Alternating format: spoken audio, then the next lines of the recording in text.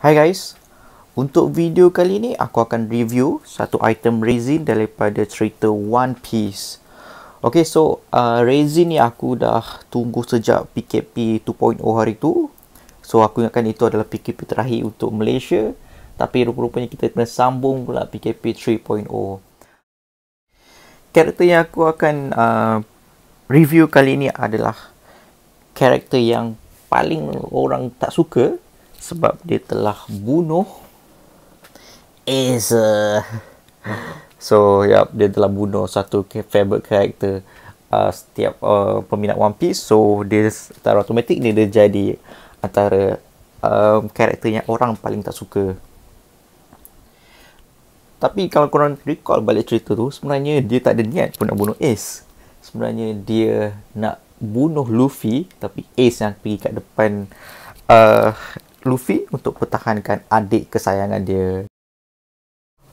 Okay, so kalau kita tengok art box ni, kita boleh nampak clearly uh, ada kesan-kesan lava. Okay, dia macam lava ni macam tengah uh, mengalir. Okay, so item ni adalah daripada Big Player Studio. Uh, jujur ini adalah resin pertama aku beli daripada Player Studio. So aku tak tahu dia punya outcome. Uh, alright, so jom kita unboxing.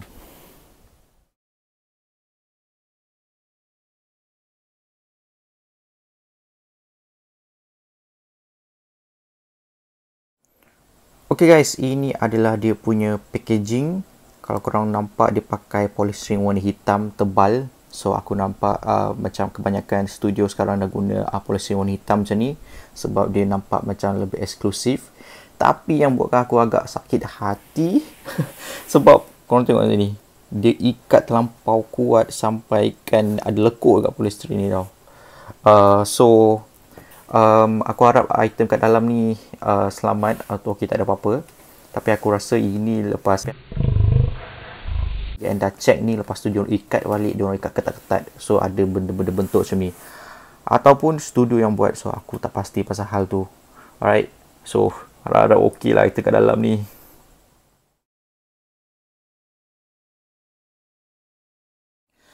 Macam biasa kita akan start dengan dia punya base ni So kalau korang tengok dia punya base ni memang serius padu gila tu. Serius padu gila. Um, kat sini kita boleh nampak konsep dia ada dua ekor uh, hot dog. Bukan hot dog yang korang makan tu. Dia macam anjing yang kepala tiga. Kita kat sini kita nampak dua ekor dari dia punya base. So anjing ni uh, lebih kurang jelmaan uh, magma daripada uh, Akainu. So kita boleh nampak ada dua ekor agak real. Dia punya detail pun memang nice kalau korang tengok gigi dia kat sini agak tajam juga and halus so hati-hati kat bahagian sini lah. Takut boleh uh, boleh patah ke apa kan.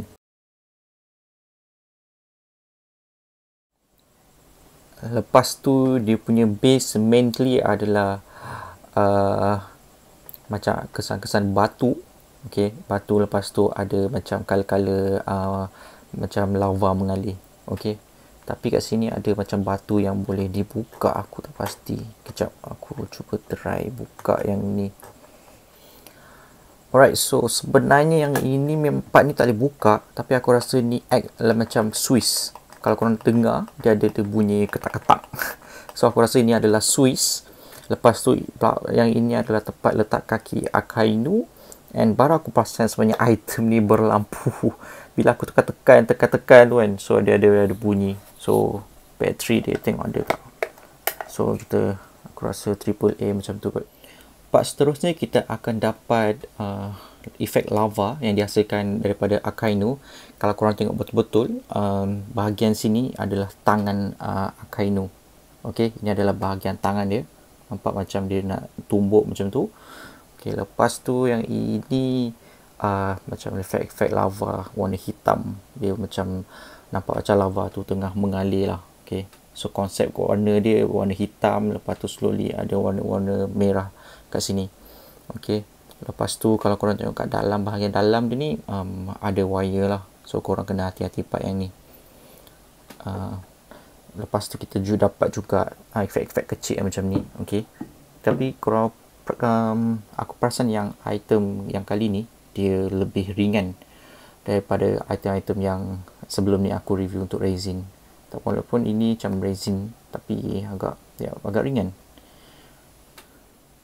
Part yang seterusnya kita akan dapat kepala uh, main karakter kita hari ini uh, Akainu. Um, so tengah pakai uh, topi marine so kalau korang tengok uh, Akainu ni sekali um, sekali tengok memang sama gila dengan dalam cerita anime dia. Detail dia memang nice. Kalau korang tengok sini nampak gila dia punya parut kesan parut dan lepas tu ada nampak tattoo dia tapi tak habis lah Okay, so tattoo dia ni memang nice gila aku rasa tattoo dia ni dia print je Cuma yang buat aku rasa macam kurang okey sikit uh, kat uh, mulut dia ni. Um, aku tak tahu sama ada mulut dia ni ada tak tahu lah kain tak pasang isap okok ke apa. Tapi kat sini kita nampak ada macam kesan pecah. so aku tak tahulah sama ada sama packaging ke apa. Oh lepas tu aku tengok telinga, empat telinga ni pun ada macam kesan sikit kat sini. Kesan pecah. Oh my god. Agak sedih sebab aku expectkan dia aku ingatkan dia tak ada apa-apa defect tapi ya uh, telinga dia kalau tengok ada kesan pecah sikit uh, okey ni macam biasa dia um uh, guna magnet kecil kat sini okey uh, and then uh, bahagian kepala ni sebenarnya agak ringan part terakhir yang kita akan dapat adalah full uh, body Akainu. Okey kalau korang boleh tengok sini aku akan fokus kat bahagian atas dulu. Kalau korang tengok kat bahagian atas ni dia um, pakai suit uh, warna putih. Dekat dalam dia dia pakai warna merah. So korang boleh tengok kat bahagian uh, sini kat bahu dia ni. So, korang nampak yang bahagian bawah ni dia magma dia dah mengalir ke bawah. Kat sini dia macam uh, nak buat ala-ala macam uh, bahagian ni nak terbakar macam tu lah. So korang boleh tengok warna dia dia tak fully putih. Dia akan warna merah atau warna kuning kat sini. Okay? So um, bagi aku itu adalah macam dia punya nampak nice juga ah. Uh, lepas tu kat sini pun dia buat konsep yang sama. Dia tak bagi suit ni putih totally. Dia akan nampak macam bahagian-bahagian lain macam nak terbakar juga kalau korang tengok kat bahagian kaki dia pula pun sama uh, belah kaki belah kiri dia ni um, nampak macam bahagian bawah-bawah ni penuh dengan lava ok so kalau korang kesan kat belah sini dia hanya macam warna je tak ada bahagian lava pun untuk bahagian belakang dia ni memang aku rasa macam impressive gila lah. Sebab korang tengok dia buat macam konsep dia punya, aku tak tahu cape ke blazer ke, um, dah covered dengan lava dia. So macam 80% dekat dia punya ni adalah semua lava. Okay, korang tengok sini, lava dah mengalir. So bagi aku memang nampak nice lah kat bahagian belakang dia ni. Okay. So ini yang juga part yang buat aku decide nak beli. Selain daripada punya base dengan dia punya tu kalau tengok kat dalam cape dia ni pun memang totally semua tukar jadi lava okay. tapi um, satu yang aku rasa macam item ni sepatutnya dia buat cape ni boleh buka so bagi aku kalau dia boleh cape ni boleh buka memang lagi nice lah kalau korang tengok sini ada kesan gum so dia nampak macam kasut tu macam agak merekah sikit lah. Satu lagi um, korang kena hati-hati dengan bahagian ni sebab tak rasa macam fragile gila yang part bayang ni. So kalau jatuh ni memang totally aku cakap boleh patah sebab dia punya ni macam rasa macam ringan sangat tu. Ringan tapi dia macam keras. Uh, dia ringan tapi keras Okay, so sekarang ni kita akan uh, assemble part-part yang kita akan dapat tadi.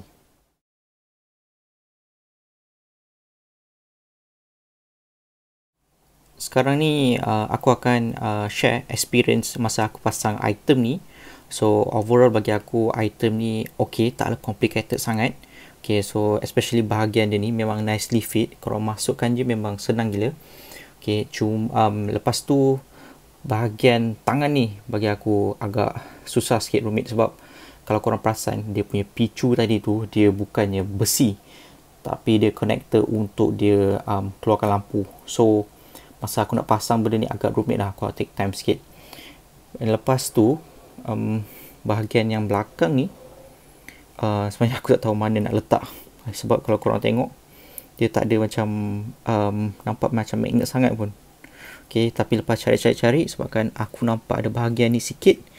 So aku cuba je tadi. Memang nasib baik lah sebab aku memang clueless gila. Aku tak tahu apa ni. Nak letak kat mana. And dia punya uh, magnet pun agak longgar. So tu lah. Kau rasa macam was-was betul tempat ni kan? So last kali bahagian kepala dia memang senang je pasang. So tak ada masalah. Okay, so aku hampir lupa tadi nak tunjuk korang lampu kat item ni kan. Okay, so jom kita pasang.